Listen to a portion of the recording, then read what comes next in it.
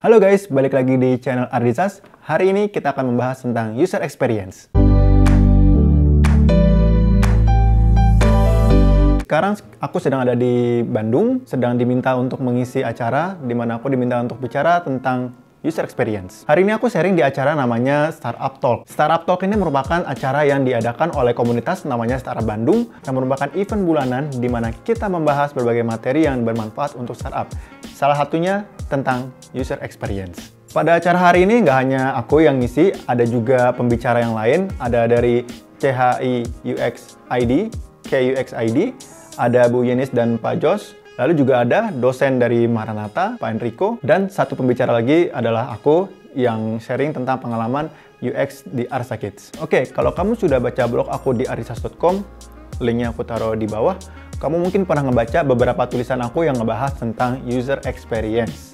Nah, hari ini aku akan sharing tentang apa itu user experience dan aku juga akan sharing materi yang tadi aku bagikan di acara Start Out Talk. Kita akan mulai dengan konsep yang namanya user experience. User experience adalah sebuah bidang ilmu di mana kita mempelajari bagaimana orang menggunakan produk yang kita buat. Kalau kita bicara tentang UX, sering sekali kita identik dengan uh, istilah namanya user interface. Sering kali kita juga identik dengan yang namanya web development atau application development. Padahal, yang namanya user experience itu jauh lebih luas dari itu. Aku akan ambil contoh, Apple. Apple adalah salah satu perusahaan yang sangat mengutamakan user experience pada produk-produknya. Dan itu nggak hanya dari sisi softwarenya atau hardwarenya, tapi juga experience dari pertama kali kita masuk Apple Store, kemudian dari pilihan lini produk yang ada sehingga kita lebih mudah menentukan mana produk yang cocok untuk kita, sampai ke proses packing dari barangnya itu sendiri, gimana caranya sehingga box dari produk-produk Apple itu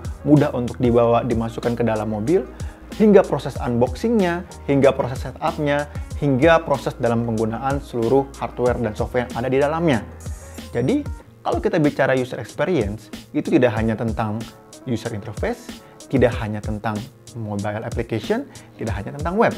Tapi itu adalah experience ketika user menggunakan produk dari pertama kali melihat produk tersebut hingga selesai menggunakan produk tersebut. Apakah user merasa puas, merasa nyaman, apakah user merasa produk yang dia gunakan untuk berinteraksi itu sesuai dengan kebutuhan dia. Hari ini aku akan sharing beberapa best practice, beberapa tips, beberapa hal yang aku pelajari ketika mendevelop produk di Arsa Kids. Buat yang belum tahu, Arsa Kids adalah sebuah perusahaan di mana kita membuat game edukasi untuk anak-anak. 2011, aku bersama teman-teman mendirikan perusahaan namanya Arsanesia. Ketika kita baru pertama kali berdiri, kita cukup naif. Kenapa? Karena ketika kita membuat game, satu-satunya patokan untuk menentukan apakah game ini bagus atau tidak, game apa yang harus kita bikin berikutnya, itu adalah diri kita sendiri. Kita lagi pengen main game apa, kita bikin game itu. Kita lagi pengen produk apa, kita kembangkan produk itu. Dan parahnya lagi, hingga proses testing itu dilakukan oleh tim internal di mana yang bikin kita sendiri, yang mainin kita sendiri, yang menentukan game itu bagus atau enggak juga kita sendiri. Efeknya apa? Ketika game itu kita publish di market, kita taruh di Google Play, ketika orang sudah mendownload game kita, sudah menggunakan produk kita, apakah dia akan menggunakan produk itu lagi? Apakah dia akan merasa puas dengan produk kita? Bisa jadi produk yang kita kembangkan sebenarnya tidak mereka sukai. Sehingga begitu mereka install, Gak lama kemudian mereka akan hapus kembali. Jadi kalau kita bicara tentang user experience, kita berbicara kombinasi antara kebutuhan user dengan kebutuhan dari bisnis. Maksudnya seperti apa? Kami akan ceritakan beberapa case yang kami alami di Arsa Kids yang mungkin bisa bermanfaat buat kamu pelajari. Oke, yang namanya programmer itu biasanya introvert, lebih suka bergaul dengan komputer karena komputer lebih logis, lebih jelas. Ini adalah problem. Kenapa? karena sebagian besar dari pengembang aplikasi itu tidak mau melakukan validasi. Maksudnya gimana? Ketika kita mengembangkan sebuah produk yang akan menggunakan produk tersebut, yang akan membeli produk tersebut adalah user kita, bukan kita. Apa yang terjadi ketika kita tidak menanyakan kepada user kita, apakah produk ini cocok menurut kamu? Yang terjadi adalah kita membuat produk berdasarkan asumsi. Asumsi menurut kita produk itu bagus. Asumsi menurut kita pengguna akan bisa dengan mudah mengoperasikan produk yang kita buat.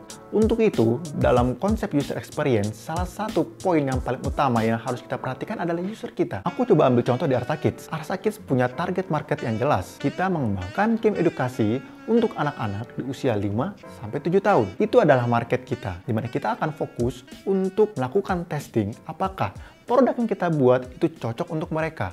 Jadi satu pelajaran berharga yang kami pelajari ketika mengembangkan produk Arsa Kids adalah asumsi itu berbahaya. Produk yang menurut kita bagus belum tentu menurut user kita bagus. Dan satu-satunya cara untuk memastikan hal tersebut adalah dengan cara melakukan komunikasi dengan user kita. Bertanya, mengamati, melakukan wawancara, diskusi, apakah yang sudah kita buat itu sesuai dengan keinginan mereka. Kami memastikan produk-produk kita mendapatkan feedback dari user kita. Kalau kita bicara game edukasi, user kita ada dua. Satu, anak-anak yang akan memainkan game kita. Dua, orang tua yang akan mendownloadkan game tersebut kepada anaknya. Dua entitas tersebut adalah user kita yang harus kita dengarkan pendapatnya, harus kita ujikan apakah konsep game yang kita buat sudah sesuai dengan keinginan mereka. Bagaimana cara mengujinya? Ada cukup banyak cara untuk melakukan validasi, dimulai dari validasi tahap ide, strategi, kemudian dari paper prototype, wireframe, lalu ke mockup, hingga ke prototype, hingga masuk fase alpha, beta, dan seterusnya. Bahkan hingga sudah rilis pun akan masih terus ada proses yang sangat intens antara kita sebagai pengembang dengan user kita. Satu hal yang menarik yang kami jumpai ketika melakukan testing kepada anak-anak adalah prototipenya harus sudah dalam kondisi full polish. Maksudnya gimana? Ketika kita mendesain produk untuk anak-anak, di dalamnya harus ada animasinya, di dalamnya harus ada efek-efeknya, di dalamnya harus ada fitur-fitur yang lengkap. Karena apa? Kalau misalkan ternyata produk untuk anak-anak ini belum sempurna, yang terjadi adalah dia membuka apps kita, dia coba tes beberapa kali, kemudian dia bosan, lalu dia close aplikasi kita dan buka game yang lain. Atau case lain ketika kita melakukan testing prototype kepada anak-anak dengan fitur yang belum sempurna. Misalkan ada fitur utama yang ingin kita tes, yaitu misalkan fitur untuk belajar membaca huruf. Tapi dalam layar tersebut ada sebuah button, button hint di mana itu masih belum beroperasi. Walaupun kita bilang kepada anak-anak, tolong jangan dipencet ya tombol yang itu, karena tombol itu belum kita implementasi. Yang akan terjadi adalah anak-anak akan mencet tombol yang tadi kita larang. Oleh karena itu, ketika kita ingin melakukan testing game, terutama untuk anak-anak, pastikan prototipe kita sudah dalam kondisi yang polis. Mungkin beda ceritanya jika kita ingin membuat produk, membuat game untuk target market yang lain. Lalu konsep yang menarik lainnya adalah mental model. Mental model adalah kondisi di mana otak kita secara otomatis akan merefleksikan apa yang mereka lihat di layar digital dengan apa yang di dunia nyata. Sebagai contoh, sebagian besar dari kita jika kita melihat ada tanda panah berbentuk segitiga, yang satu arahnya ke atas, yang satu arahnya ke bawah, maka secara otomatis kita akan menduga tombol yang atas untuk scroll up, tombol yang bawah untuk scroll down. Atau misalkan ada warna, ada warna hijau dan warna merah. Kita bisa dan otomatis berpikir bahwasannya hijau artinya untuk menyetujui, merah artinya untuk tidak setuju. Tapi kalau kita mendesain game untuk anak-anak, produk untuk anak-anak, belum tentu mental model yang sama bisa kita terapkan bisa jadi mereka punya experience sendiri yang mereka alami atau yang belum mereka alami yang membuat mental model itu berbeda. Oleh karena itu, ketika kita mencoba mendesain sesuatu berdasarkan mental model, kita harus pastikan dulu apakah ini akan sesuai dengan target kita. Lalu poin yang cukup menantang lainnya adalah terkait dengan konten. Bagaimana kita bisa menyajikan konten yang sesuai dengan kebutuhan anak-anak. Terkait konten, ini pun tidak bisa sembarangan. Karena terkait tumbuh kembang anak, edukasi anak, itu ada ilmunya dan yang jelas tidak bisa berdasarkan asumsi. Satu contoh yang paling simpel, ada fitur di game Arsa Kids di mana kita berusaha memberikan apresiasi kepada anak. Contoh, misalkan anak berhasil menjawab dengan benar, akan ada feedback suara, hebat, kamu pintar, cerdas. Lalu ketika kita coba bawa aplikasi tersebut kepada seorang psikolog anak yang ahli mengerti perkembangan tubuh anak, ternyata ada beberapa konsep apresiasi yang sebaiknya tidak diberikan kepada anak. Ada kata-kata yang itu menabrak konsep labeling. Seharusnya kita tidak boleh memberi label kepada anak. Jadi ada beberapa konten-konten yang cukup menantang di mana kita sebagai pembuat, sebagai developer tidak mengerti ilmunya. Untuk itu, sekali lagi, sangat penting bagi kita untuk merancang sebuah produk, entah itu game, entah itu apps, entah itu produk lainnya, untuk kita berkomunikasi dengan user kita, dengan expert, sehingga kita bisa memberikan produk yang benar-benar berguna untuk mereka dan akan mereka gunakan. Oke, itu tadi beberapa contoh hal yang harus kita pertimbangkan dari sisi user. Selain dari sisi user, kita juga harus mempertimbangkan dari sisi bisnis. Maksudnya gimana? Contohnya seperti ini, ketika kami melakukan testing kepada market kami, bagaimana Bu? Bagaimana Dek? Tertarik nggak dengan game ini? Oke, mereka jawab tertarik, terutama anaknya. Oh ya saya seneng kak main game ini gitu kan. Lalu kita tanya, kira-kira mau nggak kalau beli itu kan? Misalkan aplikasi ini harganya sepuluh ribu, mau beli nggak? Anaknya tuh ngasih ke ibunya, Bu, boleh beli nggak? Lalu ibunya menjawab, Mas, kalau bisa gratis aja dong gitu, nggak usah bayar. Terus kan jadi pertanyaannya, kita yang develop, kenapa dong kalau nggak dibayar? Nah, itu kenapa harus align, harus ada titik tengah antara keinginan user dengan kebutuhan bisnis. Ada satu analogi yang menarik ketika aku jalan-jalan ke IKEA sampai kepada satu tempat di mana isinya ada sekian banyak keran dengan berbagai macam jenis dan bentuk. Langsung muncul pertanyaan, kenapa keran ini beda bentuknya? Kenapa keran yang di dapur dengan yang ada di kamar mandi bisa berbeda? Kenapa kalau di mall-mall kerannya biasanya ditekan kemudian akan keluar air secara otomatis, lalu dia akan tertutup sendiri. Atau mungkin ada yang canggih menggunakan sensor tangan. Karena di situ selain ada kebutuhan user untuk cuci tangan, tapi juga di dalam kamar mandi ada kebutuhan dari pengelola untuk menghemat air. Mungkin terkadang ada user yang lupa untuk mematikan air atau mungkin ada yang menggunakan air tersebut untuk mandi. Nah, di sinilah terjadi titik temu antara kebutuhan bisnis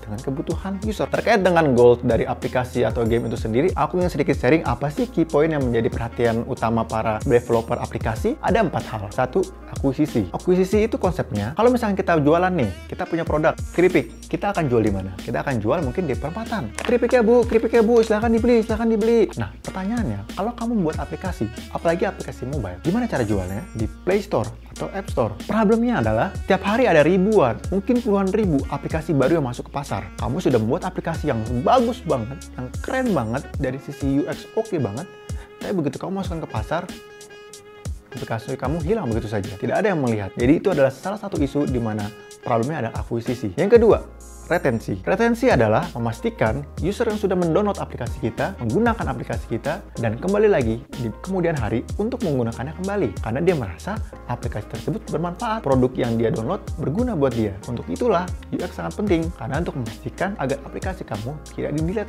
oleh pengguna. Lalu yang ketiga, konversi. Bagaimana caranya dari orang yang sudah menggunakan aplikasi kamu, mungkin dia pengguna loyal aplikasi kamu, bersedia untuk membayar. Mereka yang mengeluarkan uang untuk membeli layanan kamu adalah mereka yang puas dengan produk yang kamu buat. Oleh karena itu, kamu harus pastikan produk yang kamu buat itu mampu menjawab kebutuhan mereka. Dan yang keempat, referensi. Indonesia adalah bangsa yang sangat sosial. Jadi, word of mouth itu sangat penting. Kalau kamu bikin aplikasi dengan user experience yang jelek, maka kamu akan mendapatkan review negatif dari orang-orang yang menggunakannya. Dan itu akan membuat banyak orang enggan untuk menggunakan produk yang kamu buat. Nah, jadi kita sudah tahu UX itu apa, apa aja yang kita pertimbangkan para user dan juga business goal. Pertanyaannya adalah bagaimana cara mendesain UX yang bagus. Nah, materi tentang UX itu sendiri di Indonesia masih cukup langka. Saya sendiri belajar UX dengan mengikuti course-course yang disediakan online atau bertanya dengan teman-teman saya yang ada di luar negeri, misalkan di Singapura atau di Australia, di mana konsep UX di negara mereka sudah sangat maju. Nah, kalau kamu tertarik untuk mengetahui tools-tools apa saja sih yang bisa kita gunakan untuk merancang UX yang bagus, metodologi apa sih yang bisa kita gunakan, cara kita validasi ide gimana, cara kita menanyakan kepada user kita gimana. Nah, kalau kamu tertarik dengan topik itu, mungkin kamu bisa tinggalkan pesan di bawah. Kira-kira topik apa yang terkait dengan UX yang ingin kamu dengar? Nanti saya akan coba bahas topik tersebut lebih dalam lagi. Karena kalau kita bicara user experience, layernya sangat banyak. Mulai dari proses pembuatan strategi, hingga nanti ke level user interface. Dan rasanya nggak cukup satu video kalau untuk membuat itu. Biasanya untuk training tentang UX di satu layer saja bisa butuh workshop 2-3 hari. Karena itu, kalau kamu punya pertanyaan, punya permasalahan spesifik yang ingin kamu tanyakan, bisa tinggalkan komen di bawah, nanti aku akan bantu jawab. Oke, paling itu aja untuk video kali ini tentang user experience. Semoga ilmunya bermanfaat. Jangan lupa untuk like kalau kamu merasa video ini menarik dan bermanfaat. Subscribe juga ke channel ini untuk mendapatkan video-video menarik lainnya. Dan jangan lupa di-share juga ya, supaya teman-teman kamu juga bisa belajar tentang user experience. Kita bertemu lagi di video berikutnya. Dadah!